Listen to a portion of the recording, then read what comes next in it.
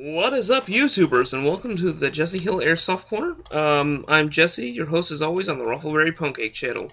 Today, we're going to be talking about something I recently got in the mail today. Um, I, uh, I'm going to do a little bit of a comprehensive test a little later, as you will see on video when I go outside with my brother Charles. But, um, this is the S Thunder Loudest uh, foam ball uh, grenade shell, 40 millimeter, of course. This will fit in almost every grenade launcher um, that is longer, much like my thumper, like I was explaining earlier, because of its longer barrel, it will be able to fit a little better inside. Um, and it really shows for this sort of thing because the shorter ones, like the Glims and whatnot, uh, will not fit too well in there because they will actually protrude and it'll skew it. Uh, with the longer barrel, it really helps, and it has a richer sound, um, that of a thump from a grenade launcher. But if you're into that, that that's definitely a good intimidation factor. It comes with four little rubber balls, some seals, and uh, an extra plug on the inside in case one of it breaks. Um, the packaging is very nice, by the way. Um, these are rather expensive. I was kind of hoping it, they'd be a little cheaper because they're not as practical. But it's more, it turns your uh, grenade launcher into a shotgun, so to speak. Um, as you can tell, it comes in two sizes according to the back. The short stubby, which holds that, and then the one, you can put as many balls as you want. I recommend you run CO2 through this simply because um, that's about the only thing that's going to have enough oomph to get these balls out quickly and um, fast enough to just kind of leave the chamber because they do pack down really tight in the inside of the board here, as you can see. You can see the little plug at the bottom. Um, it does take CO2 and just about any other gas. I use CO2 for this specific one because I just want to be sure that it fires out safely and quickly enough to leave, uh, again, the tube. So, yeah. Okay, so here's the shell. It's, it's rather long. It's about, um, I'd say, 7 inches. It's quite long. Um, does the trick, though. Um, it's quite big. Uh, you can load this with whatever you want. Pellets, little Nerf foam rocket inside the tube if you have enough room, or something like that. Um, would definitely work for this. Um, it's very loud, um, which you will see later on in the video, but it's very easy to use, uh, very easy to reset. Um, comes pre-lubricated, so it's very easy to twist, and uh, I really like it. Um, but uh, yeah, you get four of these little balls. Um, if you go on like Evike or Air Splat or maybe one of your local places, you'll be able to get these uh, for pretty cheap. Just a little foam ball, very light. Really, I mean, honestly, um, just a little bit less than lighter than air. Um, they can fly a little skewed, so that is something you need to be worried about. But uh, again, this is comprehensive. This this part of the video is just me talking about the strengths and weaknesses. Now, when you are firing, as I'm going to mention later, uh, I would recommend using the bunny ears. Um, this is the one time for the Thumper model especially that they do come into good use. Um, they'll help engage and everything like that. Sometimes they will fly straight, sometimes they'll arc, and sometimes they'll just skew according to the wind because these are so light. Again, these are not dense. It's just a foam rubber, very light, very fun to play with. Something you'd see in a little kid's toy box. Um, but um, very versatile shell um, as far as I'm concerned. Um, very nice. Uh, the color is nice. Um, again, they won't give you uh, what color. They'll just give you a random color. It's between blue, red, and uh, gold, I believe. So uh, you'll you'll have uh, no choice on that. They'll just send you what they got, and you just kind of get what you get. But overall, I'm very happy. This will look really good inside my my cannon that I built recently on my show. If you haven't seen that, go ahead and check that out. Um, but yeah, um, so I'm gonna get into the um, the actual shooting portions for you here in a moment. Uh, but uh, I believe um, it'll shoot around 325, um, somewhere around there. Very quickly, the ball will fly quick. And uh, it's very loud. If you need to use it as a distraction, you can just charge up CO2, red gas, green gas, or propane, and it is quite loud, and it will definitely get everybody's attention as a distraction. So that'll definitely be something to think about when you're using this tactically. So um, let's just jump right into the test. I'll see you on the field. Okay, guys. Um, as you can see, we're at my little rudimentary uh, workbench. I'm working on some roofing on my shed, so uh, pardon me if they're in the way. Now, I have a CO2 uh, filler. These are very rare. This is my my Mad Bull filler. I got it recently as well. These are really cool because CO2 packs a bigger punch. And for grenade shells, it would make the biggest, loudest sound. The problem is CO2 really does wear and tear on your grenade shells. So I would recommend that you use this very sparingly and just stick with red gas or propane, a lower, a lower um, uh, gas power, like because um, CO2 just hits the hardest. But anyway, this has got a very peculiar one. It's not in the uh, on the top since it's got that big uh, mouth in the front. It's off to the side. So all you gotta do is stick the pin in there, hold it down for I'd say six or seven seconds, and pull it out. There we go. Two, three, four, five, six. Okay, sorry. I didn't press it down hard enough. I forgot that you can't just stick it in like a normal one. so we all live and learn. So um, this is it's already got a little uh, ball in there. So um, it's completely uh, that that little piece right there is going to be hard to push down if it's CO2 because of the pressure. But you get the basic idea. And of course I got my thumper back here and some of the packaging and we're going to be testing this on a human subject, my brother Charles. So I'm going to spin it over and show you guys here in a second, so stick with me.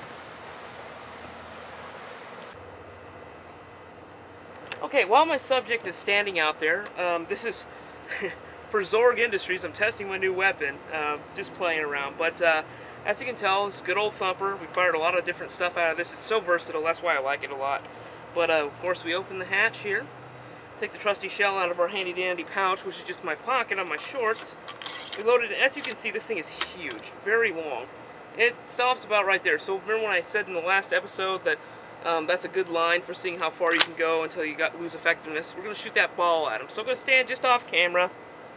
And uh, Charles, brace yourself, buddy. Safety's off. That hit you? That hit you in the head? Holy crap! Man, that thing was loud. But uh, basically, you get the idea and everything like that. Of course, safety first. Uh, he was wearing a mask, and of course, he volunteers this. Don't think that I'm forcing him into anything. But uh, as you can tell, it's very loud. Uh, it does the job. It's very intimidating, and it's just a little foam ball, so it's not going to do too much damage. So I believe if you uh, talk to the people at your local arena or wherever you play, this would definitely be allowed. So it'd just be turned into a glorified giant shotgun, essentially. But you just pull it out, simple as that, and it works. So this is the S Thunder uh, long, loudest grenade shell with the foam balls. Guys, you can load this with pellets and just about anything you want. And it's it's a fairly easy thing to use, so if you guys really want to get into this, I recommend it. Um, you can pick it up at Evike, Airsplat, and at your local retailers. They're very common. They're very fun to use. Um, remember, using grenade shells is a little more expensive. And remember, safety-wise, remember to use full seal protection, face mask, or goggles when playing. I recommend padding and stuff just to keep your scalp, like your helmet and stuff, just to keep your scalp from getting cut up or sensitive spots. I'd wear gloves. Remember to keep this in a bag away from sight when you aren't playing, and when you are playing or transporting it, remember to keep it in that bag. Use a gun cover if it can fit on there, like most AEGs, I'd recommend that. Also, make sure you're playing in a sanctioned area. You don't want to get in trouble or get taken to jail. So, uh, guys, I'm Jesse Hill, and this is Jesse Hill Airsoft Corner. Y'all have a wonderful day.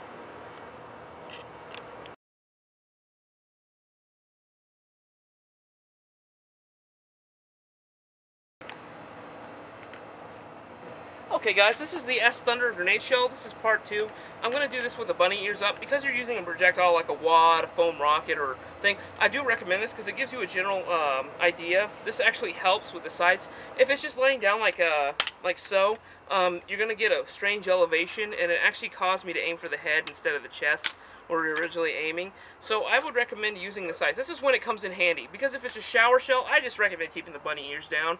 But for a projectile, like a foam ball, a little rubber top, or something like that, I would recommend, uh, you know, keeping the sights um, upward like so. So we're going to try this again. Okay, safety is off.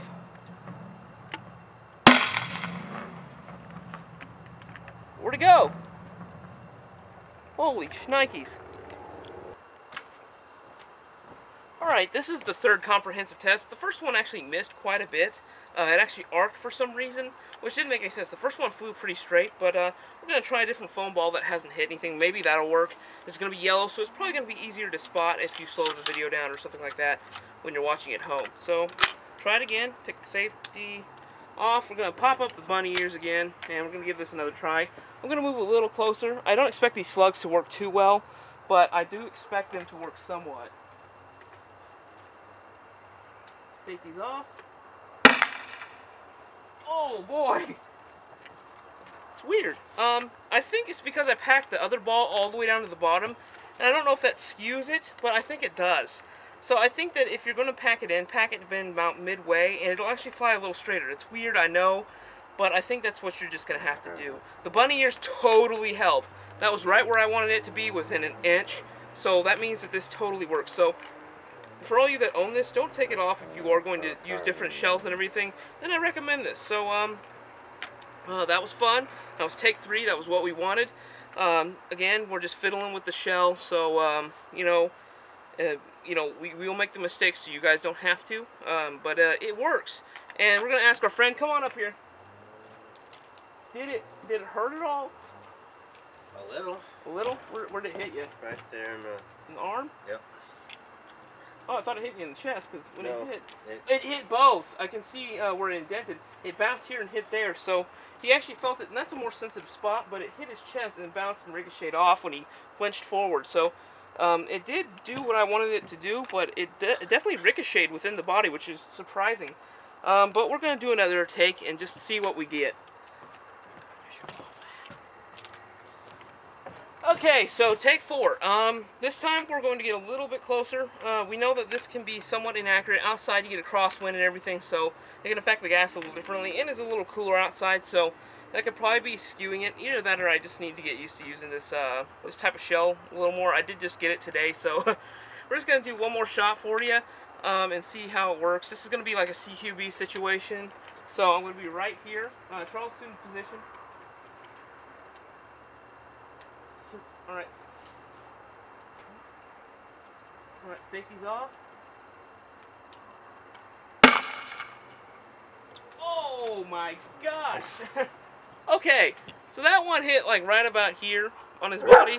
Hit pretty close. My dog's freaking out because he doesn't like the sound of the grenade shell, I guess.